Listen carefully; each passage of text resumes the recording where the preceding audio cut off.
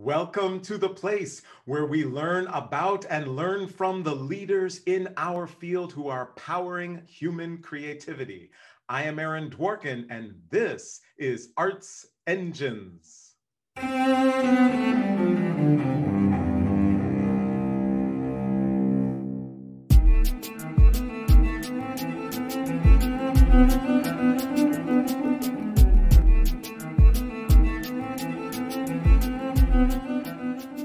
Thanks again for joining me here on Arts Engines. Today's guest is Mary Ellen Poole, who serves as Carnegie Mellon University's Dean of the College of Fine Arts. Mary Ellen, welcome to the show.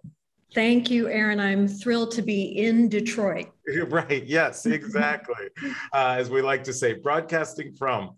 Uh, and so, uh, and you know, there's so many exciting things going on at, at, at Carnegie Mellon, an amazing institution. One of our great uh, creative partners here at Arts Engines who helped us co- uh, curate this particular show. And I thought we would just dive right in across, you know, music schools, conservatories across the country faculty is always mm-hmm. you know a type of issue in terms of how do we build representation on our faculties um, and you know a lot of times people look at this and you know we have what are viewed by many as kind of traditional power structures and when people are in institutions they often look and say how can i make change how can i really have a voice those types of things. So curious, kind of, how do you view that from your leadership perspective, um, and what are you doing uh, at CMU?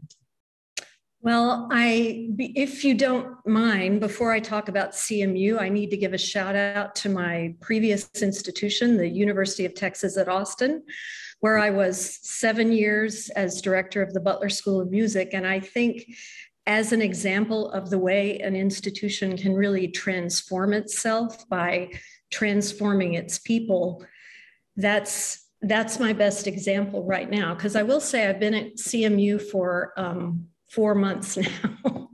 So obviously all the good all the good stuff is ahead. But at texas we recognized that it was structural that it was in the way we set up our search committees, in the way we wrote our ads to some extent, but most of all, in the way we sort of passively sat there and let candidates come to us because we're Texas, right?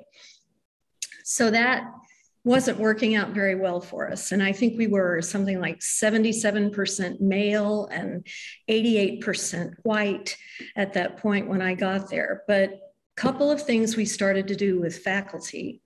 And one is um, the infamous 555 rule. And I say infamous because the faculty at first were like, oh my gosh, do we have to do this? But I ask for a list before the search even gets started of five people from three underrepresented groups each. So in the case of Texas, it was always five Black candidates, five Latinx candidates, and five women because we were 77% male.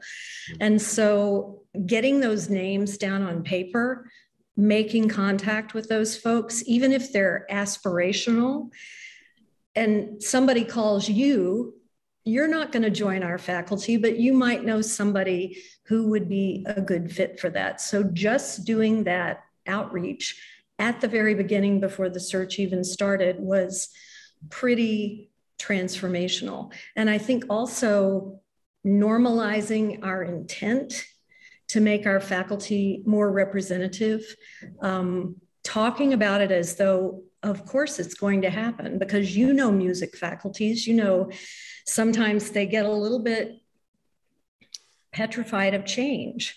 And so just talking about it over and over and over again. I am so proud of the results that we got just in the last couple of years before I left. And I hated to leave those faculty members. Totally. And, you know, so, and you raised such a, a great issue, I think, because a lot of times people look and, and and on the one hand they're like you know how is this we just we don't have you know a representative faculty et cetera and what's amazing is that a lot of times people then just well we put out our ads, we did our normal search, and we don't realize that, and when you do things in the way that you've done them, and even just these key things can make mm-hmm. huge monumental differences because it gets outside of that typical course. And, and I know, and so often a lot of faculty talk about, they're like, well, here's who I know or whatever. But when you mm-hmm. kind of initially do that, you bring new voices in. Now all of a sudden you just broaden the, the scope. So I think that's that's wonderful. And I think something too that if practiced at every you know music institution uh, across the country within five to ten years we would transform the representation i think on faculty. Yeah. uh, so it would really be really be amazing. So to kind of continue with these really tough questions and hopefully by the time our time's done here you will have solved all of the key issues uh, in, in, higher education um, and, and, all of the arts. But um, is as we think about the canon right? And we think about our curriculum. A lot of times, this can often be viewed as difficult to change and all of that. And so, especially for those in our audience who are in leadership positions um, and or who are faculty who feel like I, I wish we could, but we just don't seem to be able to. What methods do you have you found either work or that you would encourage people to consider? So, uh, in some ways, I think this is the hardest nut to crack because there is a huge psychological resistance to going outside our comfort zone. And if you look at the faculty on our campuses now, you can infer the way they were trained, where they were trained. You can pretty much tell by looking at somebody, oh, they went to Juilliard. So you know something about them already. It's code, right? And they are very comfortable um, reveling in their own expertise. They are experts to their students, whether they're a studio teacher or a classroom teacher. And that is hard won. You know, I think sometimes academics spend their whole lives getting more and more and more focused. And so to have to go outside of that and either evaluate somebody on an audition who's singing a piece you don't know and is not from your repertory and you never heard of, or trying to teach them that piece, or trying to learn a whole new methodological approach to teaching musicology in a way that your teachers never taught you. It is this whole excuse the expression, master apprentice uh, model that we have used in music education for so long, it does not lend itself to transformation. Mm-hmm. And so I think one thing that helps a little bit is identifying that problem and while not saying it's okay to be this way, just acknowledging that people do feel, frankly, insecurity and fear around going outside that comfort zone. And then the other solution, I'm going back to my other answer hire different faculty. Hmm. Right. Yeah, absolutely. And you know, it's interesting when I was at the University of Michigan as a student some years ago mm-hmm. um, mm-hmm. and discovered uh, and my private teacher exposed me to music by Black composers, which prior mm. to that I didn't even know existed. Um, but then just that act of being able to do that and perform mostly that music on my recital, I had to go through special processes because the, I was not doing the standard rep that was expected for a degree recital. And all of that and really been beginning to to see that change and so mm-hmm. are there any key things to kind of follow through on that in addition to of course hiring new faculty and hiring faculty um, who will have some uh, knowledge of more broad uh, repertoire, et cetera. Um, any other kind of key things that you think that um, music schools, art schools can do in terms of you know, evolving our curriculum to be more inclusive? Well, I think that one, we have to start structurally. And you just mentioned a repertory list. And I can I can still see in my mind's eye that catalog with the list for violinists and the list for flutists. And, you know, woe unto you if you stepped outside that. What if we stopped thinking about it that way?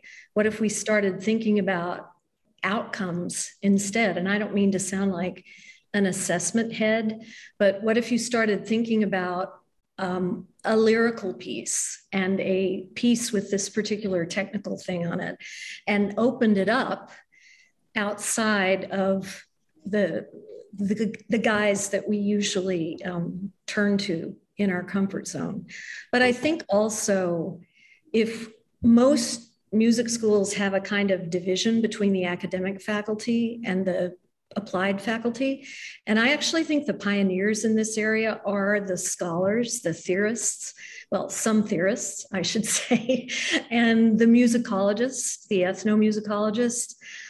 I wish they had more say over the, and this is you're going to get calls about this, but I wish they had more I'm say. Getting calls. and more influence over the approach to canon and the approach to curriculum in their schools. They they're seen as you're in charge of your class, you know, stay in your lane. But in a healthy music school, I would hope you could have conversations across those lines. Totally. And, you know, and I think that's so key. And I've seen this, you know, both in the private sector with, you know, uh, nonprofit organizations, orchestras, et cetera, where when they, for example, empower people who work in development to have a voice and to have contributions they can make in programming or programming to be able to make contributions in development, these kind of cross you know, very much disciplinary in those settings, but then in an academic environment, exactly, to be able to have an influence, to be able to share your voice outside of your specific courses um, or even your specific department is completely empowering when you see that. And especially with so many students who want not only broader repertoire and canon and curriculum, but also so much more interdisciplinary desire, I think, on the part of students these days. Um, so yeah, that's that's great to great to hear for sure. Uh, so uh, we're getting just a little short on time, but I, before I get to kind of my last question, I wanted to kind of, you've mentioned or kind of talked a little about this idea of student leadership, students leading us. And, you know, there's definitely, I know people in our field who are like, you know what, students need to do what we tell them to do. We know what, we are the ones who are trained, et cetera. Um, and then of course, others who are like, you know, student empowerment and let students help, uh, you know, to be able to architect a lot of the the, things that we do. How do you view that? And, and what do you think are some of the ideal things we can do? I think that students, well, obviously music is one of the, and I'm, I'm dealing with five different art forms now. I've got five unruly children instead of just one at CMU. But music is one of the most, um, it's that apprentice relationship again. It's super hierarchical. You're supposed to do as I say. And um, while I think that's changing somewhat with some new blood in the, the teaching studio, it is, it is a hard habit for us to break.